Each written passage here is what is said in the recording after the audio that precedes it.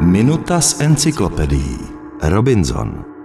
Autor románu Život a zvláštní podivná dobrodružství námořníka z Yorku Robinsona Crusoe, pan Daniel Defoe, se nechal inspirovat skutečným příběhem skotského námořníka Alexandra Selkirka. Ten měl pověst zkušeného námořního navigátora, ale také konfliktního člověka neuznávajícího autority. Při jedné jeho plavbě roku 1704 se dostal do konfliktu s kapitánem a požádal o vysazení na nejbližším ostrově s tím, že si počká na další loď.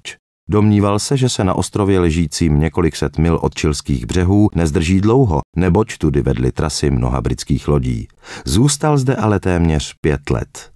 Daniel Defoe ovšem dokázal i z toho mála informací, které o Selkirkově pobytu na ostrově měl, sepsat působivý příběh trosečníka, který obýval ostrov celých 28 let. Tehdejší doba kolonizace si také vyžádala nezbytné předvedení nadřazenosti bílého dobyvatele a tak se v příběhu objevuje i černý primitiv pátek. Minuty z encyklopedií pro vás připravuje internetová encyklopedie www.cojeco.cz.